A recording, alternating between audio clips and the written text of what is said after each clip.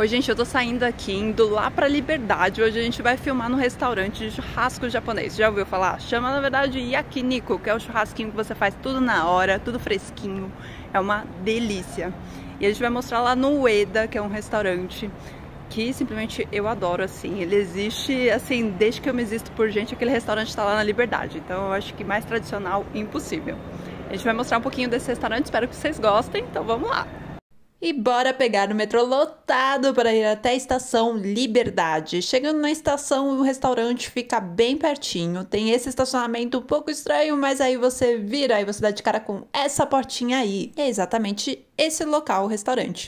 Na verdade, o local ele é um prédio que você pode encontrar vários restaurantes japoneses dentro, desde sushis, lamens e até sukiyaki. Mas hoje vamos mostrar o Eda, que é esse restaurante de churrasquinho japonês, e você pode ir de elevador ou escada, tá? E ele fica no segundo andar. E agora a gente chegou aqui no restaurante.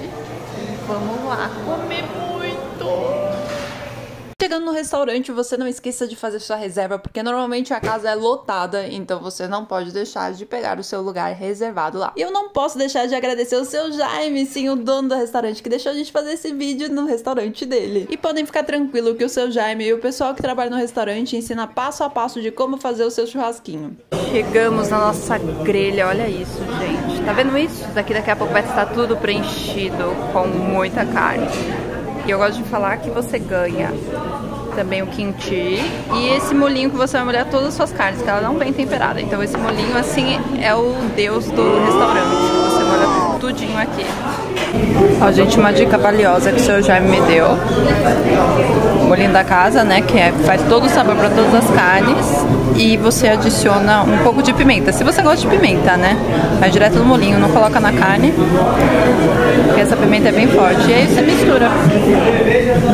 Só pra ele ficar um pouquinho mais apimentado, se você gostar. É lógico, se você gostar muito de pimenta, você pode colocar dentro mais, fica muito apimentado. E esse é o cardápio. Bom, acho que vale a pena lembrar que aqui não aceita cartão, só o dinheiro e também não cobra serviço, que eu acho uma ótima opção. Os horários de funcionamento, mas vou colocar tudo na descrição depois. E esse cardápio tem tanto a versão né, em português, como japonês e também chinês. Então assim, qualquer pessoa que vem aqui já consegue entender bastante o cardápio. Mas se você não quer saber do preço, bora pular para os 3 minutos do vídeo para começar a comilança. Vou mostrar mais ou menos o que tem aqui, os preços. Tem a parte bovina, que você pode pedir várias opções: frango, suíno, peixes, queijos, vegetais. E as porções, assim, em geral, são os drinks, enfim. Mas lembrando que, assim, mesmo você pedindo os vegetais, todas as porções elas já vêm com vegetal. Então, tipo, vem a carne e um vegetalzinho a mais para você comer. Para começar, pedimos o shiro, que seria o intestino, anchovas, língua e panceta. E nós também pedimos o coraçãozinho que vem repartido no meio. Ele repartido no meio fica muito melhor na grelha. Nossa, é divino isso. Também não podemos deixar de pedir o arrozinho e também pedimos pele de frango. Gente, pele de frango no churrasco. não tem como dar errado. E também pedimos queijo coalho, né? Olha isso, ele fica muito, muito crocante. Igualzinho aqueles queijinhos de praia. Hum, delícia. E também pedimos o contrafilé que não pode faltar no nosso churrasquinho e algumas porções como alho, cebola e legumes para balancear o nosso churrasquinho. E agora é só deixar a mágica acontecer. Olha isso, gente, dá até água na boca. Meu Deus. Olha, uma coisa importante que também ele vai ensinando você a cozinhar cada ponto aqui da carne, enfim. Por exemplo, o intestino é bom ele ficar bem moreninho assim, para ele não ficar muito borrachudo também e ficar no ponto certo. Que nem esses aqui, eles ainda não estão no ponto, então você tem que deixar mais tempo aí na grelha. Pessoal, os legumes eu recomendo você colocar primeiro na grelha, porque ele demora um pouquinho mais pra fazer, tá bom? Também pedimos lula, depois de tudo que a gente comeu, a gente pediu mais, vamos comer mais! a lula você vai fazendo até ela começar a enrolar e ficar mais branquinha, e você tira porque ela vai ficar emborrachuda, então depois você começar a ver que ela tá enrolando, vira e tal. Pra não ficar muito borrachuda. E olha os queijinhos. Gente, parece queijo de praia. Esse aqui já tá bom, hein? Vou comer. E ó, pra falar que eu não como só carne, também tem legumes. Deixa eu pegar aqui. Olha a cenoura. Gente, até o legume fica bom. Ah, a crunch.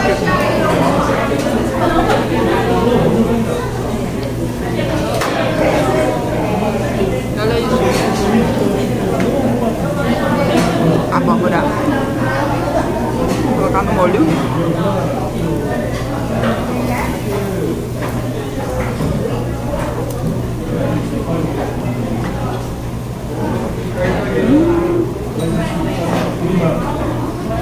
Nossa, bem gostoso. Ó, a lula tá praticamente pronta. Olha esse aqui, que bonitinho. Tipo, quando ela começa a enrolar, ela já tá pronta, porque senão ela vai ficar borrachuda. A gente já vai tirar aqui. Agora vou pegar o bebê Lula. Olha os tentáculos, que. Vou colocar no molinho especial.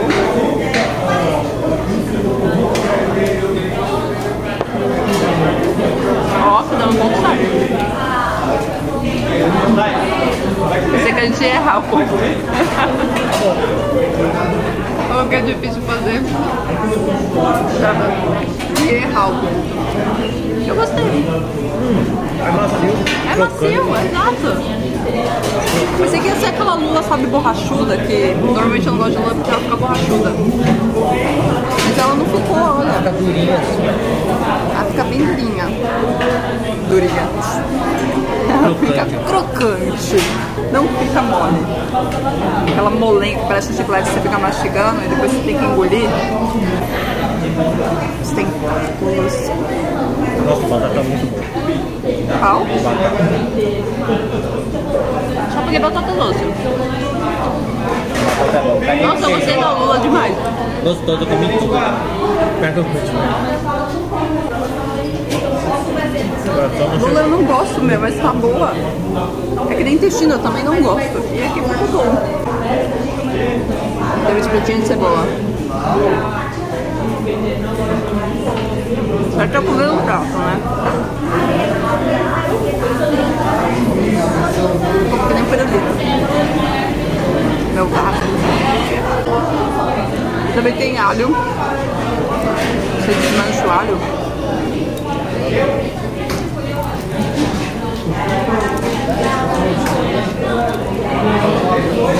Olha isso, alho.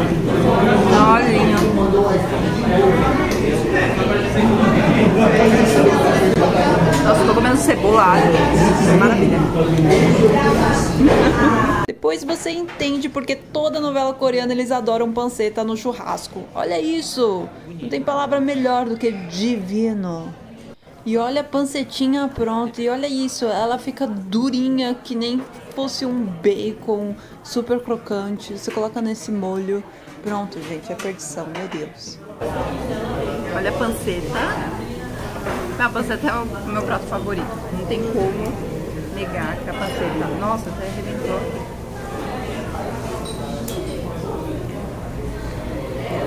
Ela tá muito crocante, olha isso. Ela tá quebrando, nem bacon. Mas muito bom. Ai, lembra da pele de frango? Agora a gente vai fazer ela e, gente, fica muito bom. Vocês não têm noção. Tá muito light hoje, então eu peguei pele de frango. Olha essa pelinha, ela faz barulho.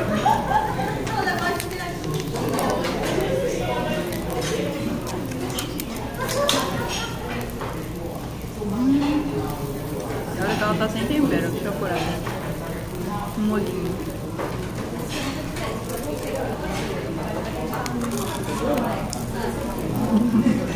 Agora vamos mais light com um mix de legume, né? Pra dar aquela balanceada aí na nossa dieta. e depois você leva até uma lembrancinha pra casa, que é o cheirinho de churrasco no seu cabelo. Hum, depois bate uma fome. E a última dica é: não deixe de experimentar os pratos mais variados que tem no restaurante, como a língua ou mesmo o shiru, que com certeza vai melhorar ainda mais a sua experiência para experimentar esse restaurante. Se você gostou do vídeo, lógico, né? Não deixe de se inscrever no canal, já coloca aí o seu comentário se você já veio aqui, se você ainda quer visitar. E eu vou deixar na descrição todos os horários, as informações e até o endereço para vocês virem aqui e fazer sua reserva. Tipo, no final de semana é, ou feriado, às vezes a casa pode estar muito cheia. Então eu aconselho vocês ligarem, fazem sua reserva. Aí vocês garantem seu almoço, seu lugarzinho bem tranquilo aqui. Que nem a gente fez, a gente fez uma reserva aqui e tá ótimo. E é isso, gente. Até a próxima. E não esquece de seguir aí no canal para novas dicas. Até mais. A gente já vai embora e o seu Jaime fica por aqui. Obrigado, obrigado, obrigado. Até a próxima. Por favor, apareça. Obrigado. Arigato. Tchau.